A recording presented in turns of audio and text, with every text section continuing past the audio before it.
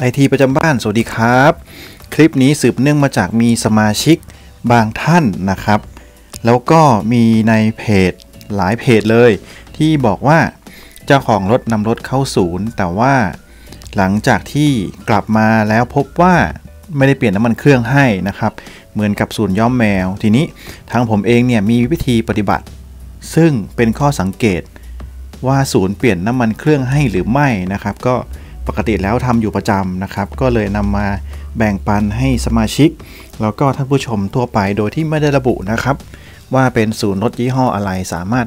กระทำได้ทั้งหมดเลยนะครับ โดยวิธีมีง่าย ๆ 3 ข้อด้วยกันนะครับ ที่ผมทำประจำนะครับข้อ1ก็คือ หลังจากที่เราเปลี่ยนน้ำมันเครื่องมาหรือว่ารับรถมานะครับ ก็ต้องดูว่าสมรรถนะรถเราเสียงเครื่องยนต์รถเรา แล้วก็อัตราเร่งประมาณไหนนะครับ แล้วก็จดจำไว้ให้ดี หลังจากที่เราเปลี่ยนน้ำมันเครื่องมาแล้วเนี่ย ก็ดูว่ามีการเปลี่ยนแปลงหรือไม่นะครับ ยกตัวอย่างเช่น ปกติแล้วเนี่ยตั้งแต่เปลี่ยนน้ำมันเครื่องใหม่ๆ ก็คือ อัตรารถเราค่อนข้างแรงนะครับเร่งค่อนข้างดี แต่ว่าพอระยะทางวิ่งไปใกล้จะครบหมื่นโลจะถึงเปลี่ยนน้ำมันเครื่องแล้วเนี่ยก็อัตราเร่งก็จะลดลงนะครับ บางทีอืดๆมากนิดหน่อยนะครับ สังเกตได้นะครับ หลายๆ คนก็อาจจะมองว่าเป็นคนใช้อย่างเดียว ค่อนข้างสังเกตยากก็ค่อยๆดูนะครับสำหรับข้อแรก ส่วนข้อที่2นะครับก็ให้ดูน้ำมันเครื่องนะครับ ปกติแล้วเนี่ยเราจะมีตัวเปลี่ยนถ่ายน้ำมันเครื่อง อันนี้คือฝานะครับ เราจะเติมน้ำมันเครื่องตรงนี้นะครับ ซึ่งปกติแล้วเป็นหน้าที่ของช่างนะครับ นี่ฝาเติมน้ำมันเครื่องเห็นไหมครับ engine oil นะครับแล้วก็ปกติ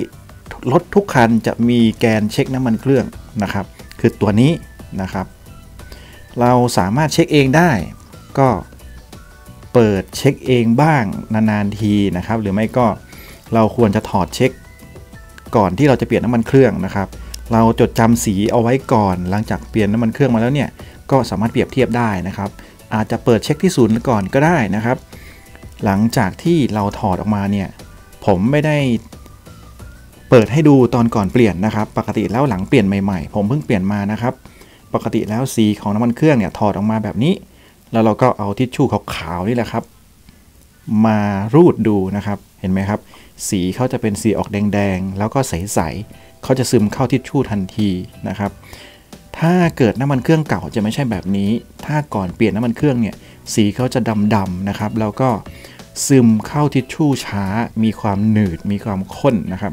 หลังจากที่เราเปลี่ยนมาแล้วเนี่ยจะเป็นแบบนี้เห็นไหมครับ จะเป็นใสๆออกใสๆซึมง่าย ๆ เนื้อเบาๆนะครับ แล้วก็ ถ้าเราเช็คน้ำมันเครื่องเป็นประจำจะเห็นว่าปกติแล้วรถทุกรุ่นแกนเช็คน้ำมันเครื่องเนี่ยจะมีรู2รูแบบนี้นะครับรูซ้ายก็คือระยะต่ำสุดของน้ำมันเครื่อง รูขวาก็คือระยะสูงสุดของน้ำมันเครื่องนะครับ ปกติแล้วระดับน้ำมันเครื่องเนี่ยควรจะอยู่ระหว่าง 2 รูนี้นะครับ ให้เช็คเป็นประจำเราจะสามารถดูได้ว่าน้ำมันเครื่องพองหรือไม่อะไรทำนองนี้นะครับ หลังจากที่เราเช็คก็เราจะเห็นความเปลี่ยนแปลงแล้วก็จับสังเกตของสีน้ำมันเครื่องได้นะครับ นี่เป็นข้อดีอย่างหนึ่งนะครับ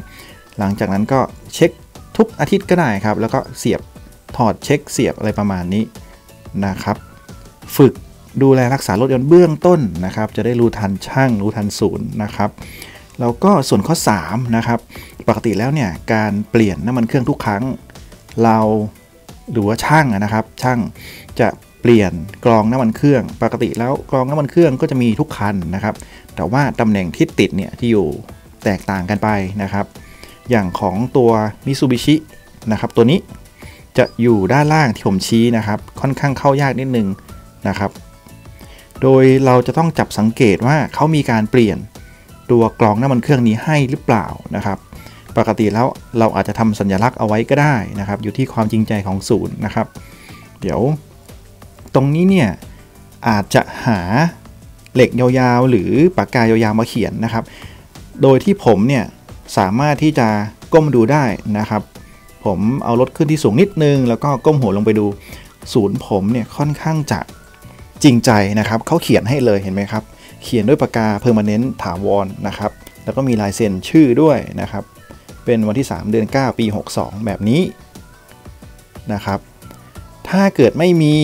โดยที่เราสามารถที่จะทำสัญลักษณ์ไว้ก็ได้นะครับ ก่อนเปลี่ยนเราทำสัญลักษณ์ไว้สักนิดนึงนะครับ หลังเปลี่ยนเนี่ยเราก็มาดูอีกทีหนึ่งว่าเขาเปลี่ยนตัวใหม่ให้เราหรือเปล่านะครับ เห็นไหมครับที่ผมชี้เนี่ยเป็น ลายเซ็นของพนักงานคนที่ดูแลเคสนี้นะครับ เขียนวันที่ให้เรียบร้อย แบบนี้ถือว่าจริงใจมากนะครับ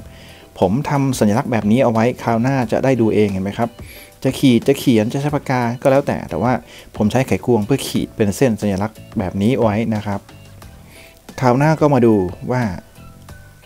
เขาจะเปลี่ยนตัวใหม่ให้หรือเปล่า ถ้าสัญลักษณ์ยังอยู่ก็แสดงว่าไม่มีการเปลี่ยนกรองจริง ๆ แล้วเราต้องคุยกับศูนย์ด้วยนะครับว่าการเปลี่ยนน้ำมันเครื่องทุกครั้งเนี่ย ถามเขาว่าเปลี่ยนกองน้ำมันเครื่องด้วยไหมนะครับบางศูนย์อาจจะจริงใจไม่เปลี่ยนไม่คิดราคาจริง ๆ ไม่ได้นะครับเขาก็จะต้องคิดเงินเราด้วยประมาณ 250 บาท แล้วก็เปลี่ยนกองทุกครั้งเพราะว่ากองน้ำมันเครื่องนี่สำคัญมากนะครับ เห็นไหมครับเขาอยู่ด้านล่างนะครับ แต่ว่าถ้าเกิดไม่สะดวกลงไปดูลงไปทำสัญลักษณ์ก็หาอะไรแหลมๆมาขูดๆด้านบนที่จะพอจับสังเกตได้นะครับ หลังจากที่เราเปลี่ยนน้ำมันเครื่องมาแล้วก็สังเกตอีกทีหนึ่งว่าเขาถอดเปลี่ยนกรองน้ำมันเครื่องหรือเปล่านะครับ ง่ายๆแบบนี้นะครับสำหรับวิธีสังเกตว่าทางศูนย์เปลี่ยนน้ำมันเครื่องให้หรือเปล่านี่ก็ง่ายๆครับมี 3 ข้อที่กล่าวมานะครับ อีกทีนึงนะครับขออนุญาตทบทวน ข้อแรกก็ให้จำสมรรถนะก่อนเปลี่ยนและหลังเปลี่ยนนะครับ ก่อนเปลี่ยนและหลังเปลี่ยนเนี่ยควรจะต่างกันอย่างเห็นได้ชัดสำหรับคนที่ใช้รถเป็นประจำนะครับ แล้วก็ข้อ 2 ถอด แกนเช็คน้ำมันเครื่องดูสี ว่าสีน้ำมันเครื่องเปลี่ยนไปหรือไม่นะครับ ถ้าก่อนเข้าศูนย์เราเช็คดู แล้วก็หลังขับรถออกมาเลยอยู่ที่ศูนย์ก็ได้ เราเช็คดูก็น่าจะเห็นความเปลี่ยนแปลงนะครับ ข้อ 3 ให้ดูที่ตัวกรองน้ำมันเครื่องด้านล่างนะครับ ขึ้นอยู่กับแต่ละรุ่นเลยว่าอยู่ตรงไหนทำสัญลักษณ์เอาไว้แล้วก็ดูว่าศูนย์เปลี่ยนกรองน้ำมันเครื่องให้หรือเปล่านะครับ เราสามารถสังเกตได้ง่าย ๆ บางทีใช้ปากกา บางทีใช้ของมีคมขูดๆเอาไว้ก็ได้นะครับสำหรับคลิปนี้น่าจะเป็นประโยชน์กับใครหลายๆ คนที่ยังไม่เคยสังเกต ถ้าเคยยังไม่มั่นใจนะครับ ก็ใช้คลิปนี้เป็นแนวทางนะครับ